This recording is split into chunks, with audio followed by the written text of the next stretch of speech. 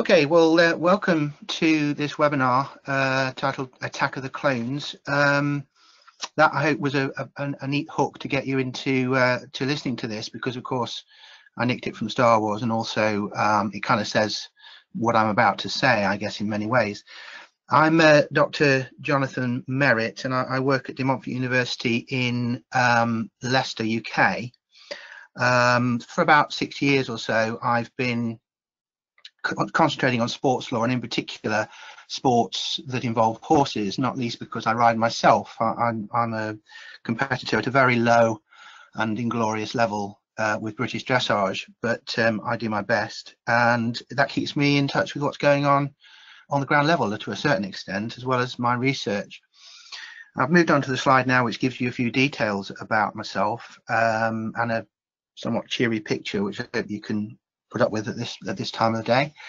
Um, and um, I, I, do run a research blog as well, which I, I, guess would be an easier way to access some of the material without having to plow through one of my longer journal articles. But um, particularly, I want to talk to you today about the uh, issues that the FEI and the British Horse Racing Authority, as the main players in the equine sport world, uh, face in terms of integrity now so that I can make the point that if clones are here and here to stay, which I believe they are, um, then um, we do have additional challenges that haven't really been properly thought through.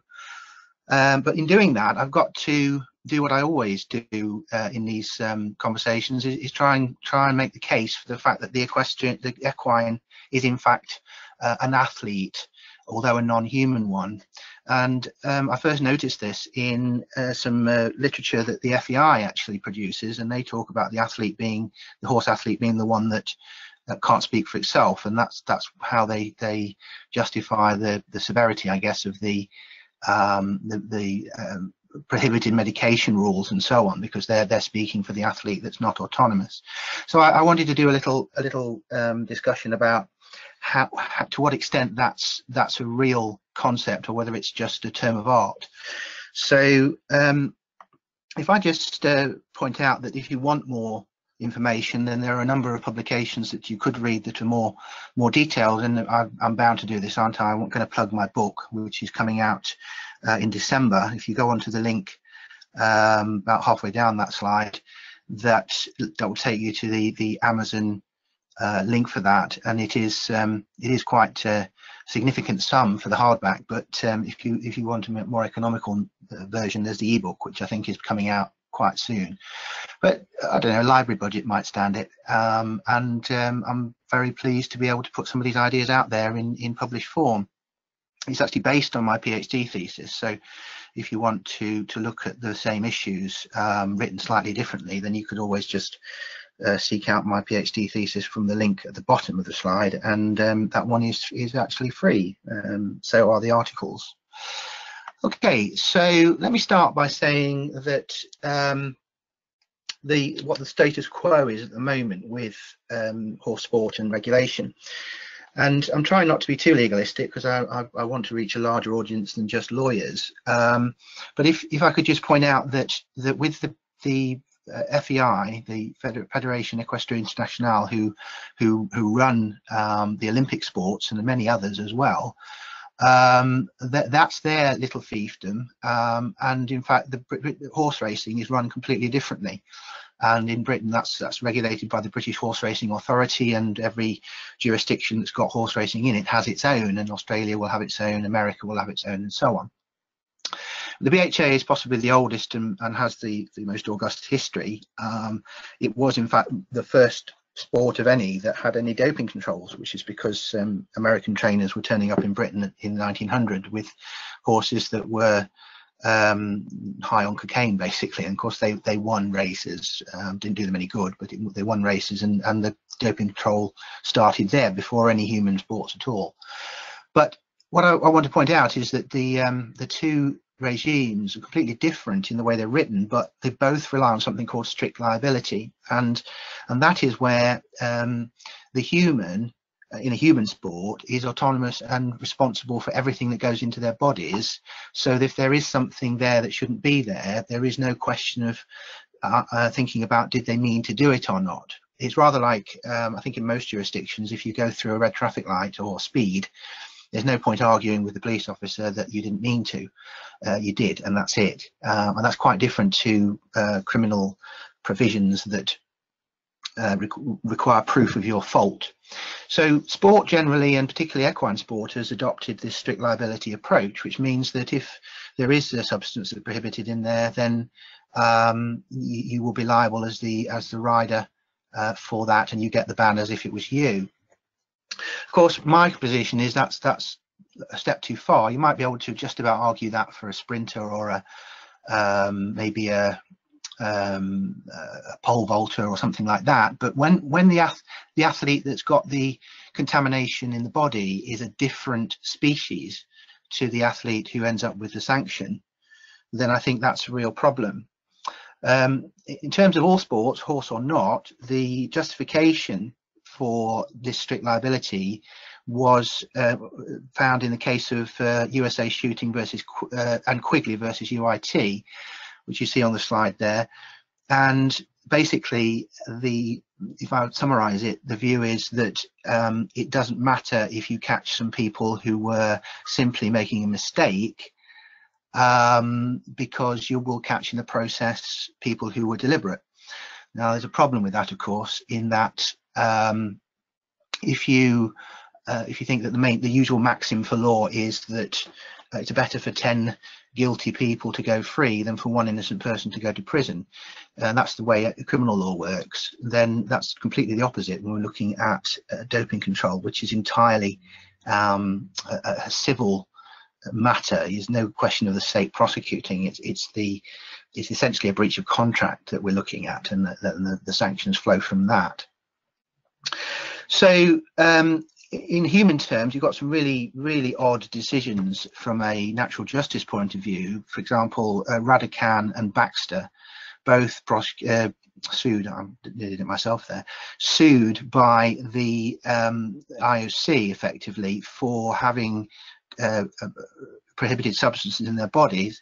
Raducan was a uh, a juvenile gym gymnast given something by her coach, and Baxter had checked the ingredients of a um, um, of a medicine that they had that he had for a, for a condition he, that he was allowed to take. But unfortunately he was in a jurisdiction where the the ingredients were different to the ones at home and he ended up with a prohibited substance in his body despite his best efforts. Both of those got bans and both of those were rendered ineligible. And that's um, that's perfectly legal. Um, it doesn't sound very morally right though. And um, there are those who say this shouldn't be the case with human sport. I say that there's a particularly stronger case with um, equine sport, given the reasons I've just discussed. You might say, when am I going to get onto cloning? Well, I do need to set these this um, groundwork, this landscape as to what things are at the moment before we can even look at how cloning might impact.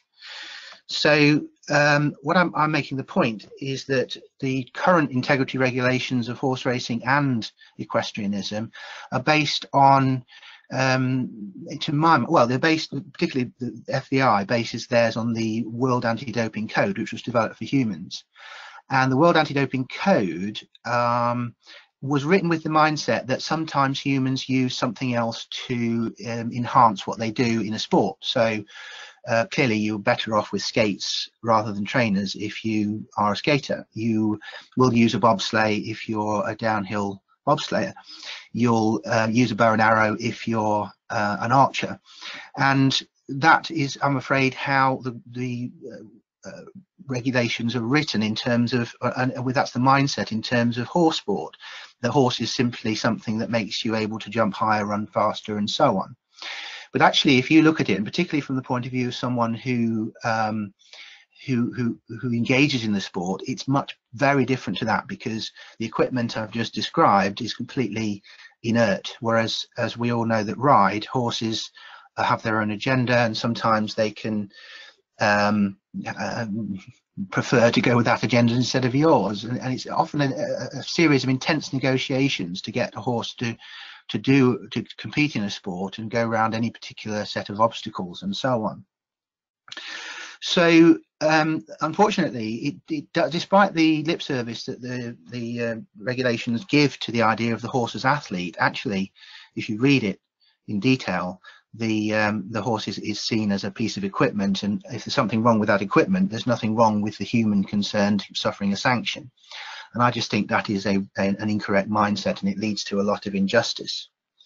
So if I'm saying that um, that we can socially construct a horse as athlete, then I really need to try and justify that. And I'm going to do that with a short picture show, which um, doesn't take very long, and I, I think I can um, make my point with it. So we had um, horses as prey, and as you can see, 10,000 years ago, perhaps a bit more, um, we were hunting them, and there you have a cave painting which depicts a horse being hunted by by arrows.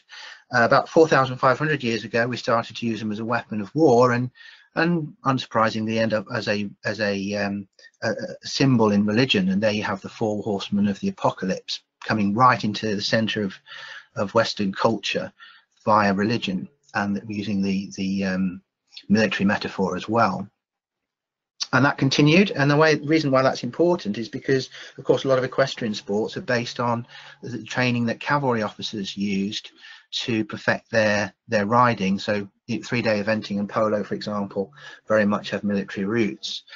They were promoted as comrades by the propaganda machine during the first world war. And you can you can see this in this rather sad painting where a horse is comforted as it dies by um, his comrade, the soldier, despite the fact that there are shell bursts happening just nearby, and his friend is saying, "You need to go," but he won't because the horse is is his comrade.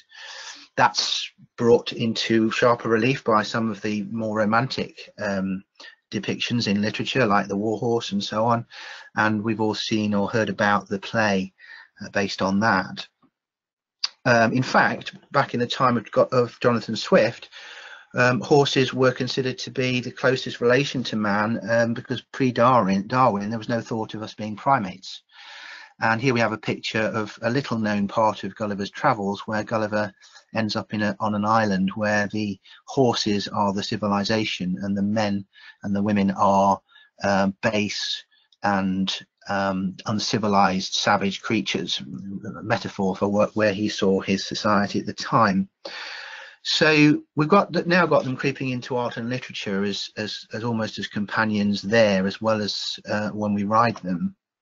We've used them to celebrate our triumphs and his, uh, historical uh, epochs. We've got the uh, the white horse there, um, in English countryside, and the Brandenburg Gate with the horses above it in Berlin. Um, and we still do it. If you think about the re relatively recent construction of the Kelpies, these enormous 400 ton uh, sculptures of Clydesdale horses that are dominating the skyline as you go into Glasgow, celebrating the industrial past of the area. It's pretty much what you see whether you go into Glasgow by road or by sea. Uh, expensive and um, very much evocative of what I'm trying to say. We, we are still we're still having horses in our culture and our celebrity and our celebrity status, as I will argue. In fact, um, they're, they're, in our commerce as well, because if you think about the amount of time that horses spend uh, actually in front of us on adverts, um, Bud Budweiser is a very st strong example of that. We've all heard of the Budweiser uh, Clydesdales, and there's some fantastic adverts that have been done with them, and they they maintain something like 250 for promotional purposes. There's so much embedded in the American psyche that on two occasions they've been used in presidential inaugurations. Of course, you can be famous for being famous, and I guess the Clydesdale uh, Budweiser Clydesdale is that because um, it's not about the attributes much of the um, horse that can transfer to the beer, other than its recognized, recognizable uh, nature. But you can be famous being famous, and Budweiser Clydesdales are a bit like Kim Kardashian, I suppose. I wouldn't want to compare poor old Kim to a Clydesdale, but um, that's really the limit of the comparison, I suppose. So where do we, when certainly in, in the UK, we can see um, the uh, icon of the horse in in many business logos and in literature um, you see um, the cultural influence turning up really from a very young age. And we have horses in Disney cartoons and my goodness, there's a lot of anthropomorphosis in that picture because if you saw a horse with that expression on its face, you'd probably run in the other direction. Um, it's deliberately got a human face with expressions and it can talk in many instances in films. And we start to anthropomorphize the horse from a very young age. And uh, we can see this coming to a head in that um, it's not um, at all unusual over history and uh, over, over, recent history to see the horse actually turning up on Vogue. And here we have Black Caviar on top of um, Australia Vogue uh, on the front of it. Now, I would argue that this plus plenty of soci sociological literature on social construction, on horses, all of that supports the idea that the horse, at least the elite competition horse, is actually an athlete celebrity. So when we are um, writing that an athlete needs to be regulated by a set of, of, of rules within a sport, then we're really talking about an athlete just like a human um, in that respect, but without human characteristics. So one of the problems we've got is that um, the FEI has a very complicated set of, of codes, three of them altogether. Uh, UK horse racing has its own rules, but they run very much on the same lines with strict liability. Um, there isn't a great separation between those disciplines actually but if you talk to the BHA they'll say well anything that happens in the FEI that's nothing to do with us. But the, the reality is of course that um, race horses and equestrian uh, horses equestrian sport horses are often owned by the same very wealthy individuals and the same individuals are used as trainers and staff and the same vets traveled between different yards. And it's it's actually more apparent than real that there's a separation between these disciplines and the integrity threats that they face. We know that within uh, anti-doping worldwide that the um, detection statistics are not great and that's pretty much true of horse sport as well. Given the complications that I illustrate on this slide, it's not surprising that basically we're catching what they call the dopey dopers, the people who aren't thinking too hard about what they're doing, haven't read the regulations, didn't check their emails, something's now on the banned list, or maybe they didn't check the feed. And sometimes they can't check the feed because even the Queen, her horse has been tested positive for morphine and it was a contaminated feed bag and clearly she could do nothing about that. Um, we've had a number of reviews into horse racing and the BH and the um, Olympic sports uh, separately, and I list some of these here. Uh, just so, so um, how many there have been just this century shows that there is a crisis, even though many in the industry don't seem to acknowledge that there is.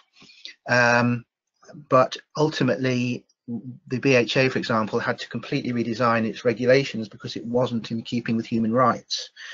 Um, the FEI has been through quite a lot of doping scandals since 2000, uh, and I list some of those there. So this is my point that, that it's not as if the current integrity regimes in the major players in horse sport are doing a particularly good job.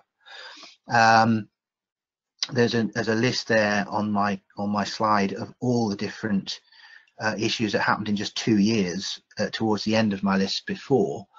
Um, now this is recorded so you can have a look at that at your own at your own pace. I don't propose to go through all of those, uh, bearing in mind we have uh, maybe only only a few minutes left. Um, some of the um, difficulties are that you can't distinguish between cheating and an accident with the current regimes. Um, so one, and that's my point about the regime as it is, which is bringing us to the point in the presentation in the webinar we are now. You can't currently distinguish between cheating and accident because of the clumsy nature of the regulations. Therefore, you can't uh, deter the determined cheats because they know that the system is not particularly precise.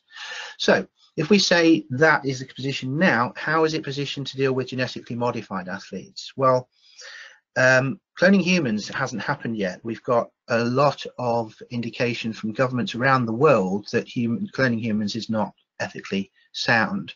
Um, many organizations, health organizations and governments have come out against it and unless there's some rogue scientists somewhere, we don't have any cloned humans that we know of.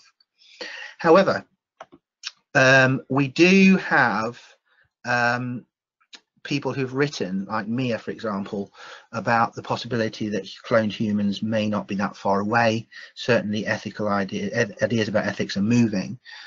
Um, and if we move on to the current position with equines, 2003, the world's first cloned horse, um, Merker's Gem was a clone of Gem Twist and is, is in a competition yard now, if not actually competing.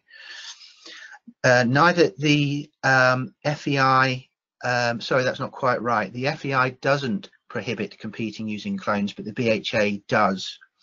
Um, the irony is basically then that if you allow clones, then um, you're allowing something that's been genetically created, engineered by science from hoof to ear tip. You're allowing that, but you wouldn't allow a natural animal, and that animal that's come through the usual mating process, to compete if it had a tiny trace of, say, for example, capsaicin or bute, or even a poppy seed producing morphine finding, you wouldn't let that compute, compete. So my point is that the FEI allows competing, but with, with, with clones, the BHA doesn't, but given that there's a there is a factory uh, being um, developed in China to produce cloned animals, and the link to the newspaper article is at the bottom of that slide. One of those groups of animals is racehorses, and I I just struggle that without with with with even just a fairly moderate level of fraud, I think that the those horses could end up in the racing circuit, even if they're prohibited. So if you are able to clone very successful racehorses en masse, then the economic incentive could be huge and many of the vagaries of the breeding process wouldn't matter anymore. So you, for example, in polo, where you've got whole teams that are clones in, in South America right now, then they are uh, showing the attributes of the donor animal throughout. You don't have to worry about the status of the mare, the status of the stallion. Um, it's a clone, it's a copy, it will do the same things. So what I'm saying then is that if we if we problematize, which is a, a word in social science which means look at the problems of, um, ethical issues, do is it just another breeding practice? Uh, has a debate been had? I don't think it has, not properly. I think the BHA has banned it without thinking. I think the FEI has allowed it without thinking. The other thing is that gambling would be quite badly hit because if you knew that the thing was going to win because um, it, it's a clone of a horse that's always won, then who's going to give good odds on it? And the gambling industry could well be affected by that.